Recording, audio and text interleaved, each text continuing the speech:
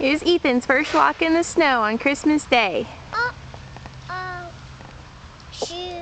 Is there snow on your shoe? Huh?